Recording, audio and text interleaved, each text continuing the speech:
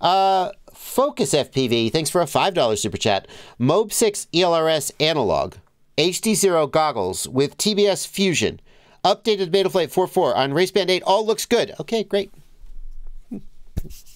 No, there's more. Then I arm and the video goes to noise rapidly.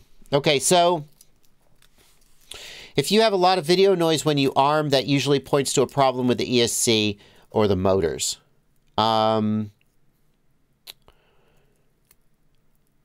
since you have a Mobula 6 with an all-in-one flight controller, I don't know what options you have to try to fix this. Uh, to be honest. Like, could you have an aux mode set up where when you arm, you're going to low power? Like by accident, if you go to the modes tab, or have you been setting up any of the VTX CLI commands where you, where you can change power? Like, do this. Put the output power of the video transmitter in your OSD so that when you arm, you can see if the output power changes. I, I don't, this is such a long shot. But like, I don't want to say, was it happening on 4.3?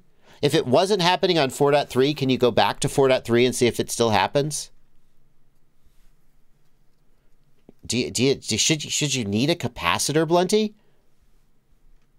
I mean, should you really need a capacitor on a Tiny Whoop, on a Mob 6?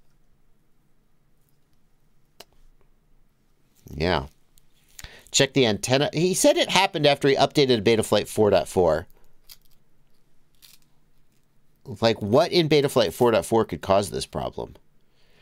So consider going back to 4.3 and see if the problem goes away. You may have a hardware problem that just coincides with your switch to 4.4.